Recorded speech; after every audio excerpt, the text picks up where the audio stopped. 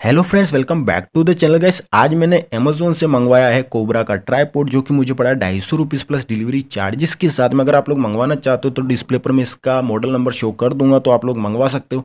तो फटाफट से करते हैं इसकी अनबॉक्सिंग अमेजोन से हमें मिलता है एक कागज़ का बॉक्स और इस कागज़ के बॉक्स के अंदर से सबसे पहले हमें देखने को मिलता है मोबाइल होल्डर जो कि ब्लैक कलर का है, और इस मोबाइल होल्डर को हम लोग हेरिजेंटल और पोर्ट्रेट दोनों तरह से स्टैंड पर बड़ी आसानी से लगा सकते हैं।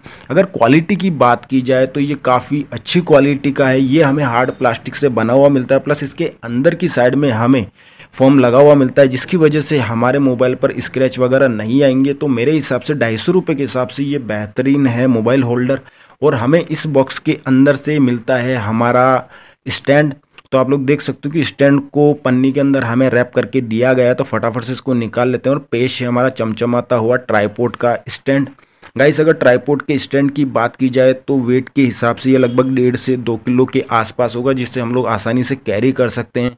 और इसकी क्वालिटी की बात की जाए तो मेरे हिसाब से अच्छी है, क्योंकि ये जो स्टैंड है, ये हमें स्टील आयरन और हार्ड प्लास्टिक से बना हुआ मिलता है। और इसके अंदर लॉक्स के लिए इसके अंदर स्क्रूज दिए गए हैं, जो कि काफ़ी बेस्ट चीज़ है। लॉक्स जो होते हैं प्लास्टिक के वो टूट जाते हैं या फिर ख़राब हो जाते हैं, लेकिन इसमें हमें स्क्रू देखने को मिलते हैं, जो कि एक बहुत ही ज़्यादा प्लस पॉइंट है इस स्टैंड का।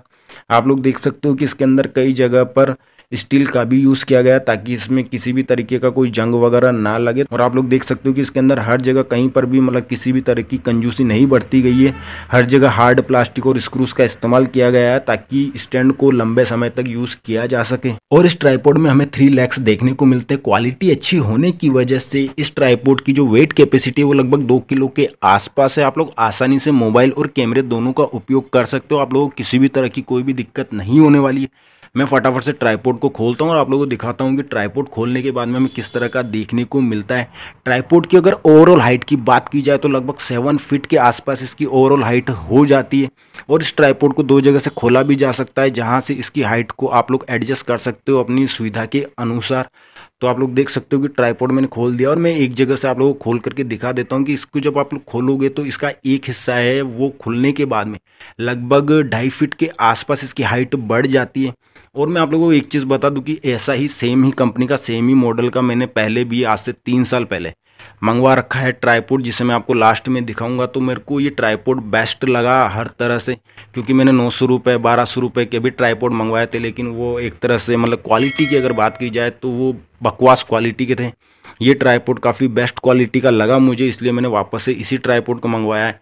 मेरी हाइट है फाइव पॉइंट सिक्स तो आप लोग देख सकते हो कि लगभग सात फीट के आसपास हमें ये ट्राईपोर्ट देखने को मिलता है। और मैं आप लोगों को मेरा पुराना वाला ट्राईपोर्ट दिखा देता हूँ। तो आप लोग देख सकते हो ये मेरा पुराना वाला ट्राईपोर्ट है, जिसको मैं पिछले तीन सालों से यूज़ कर रहा हूँ।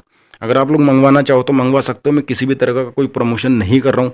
बस मैं अपना रिव्यू दे रहा हूँ, क्योंकि मैंने ये ट्राईपोर्ट मंगवाया था तो आप लोगों के लिए हेल्प हो जाएगी। और अगर आप लोगों को वीडियो पसंद आए तो वीडियो को लाइक ज़रूर करिएगा और शेयर ज़रूर करिएगा। धन्यवाद, मिलते हैं आपसे नई वीडियो में।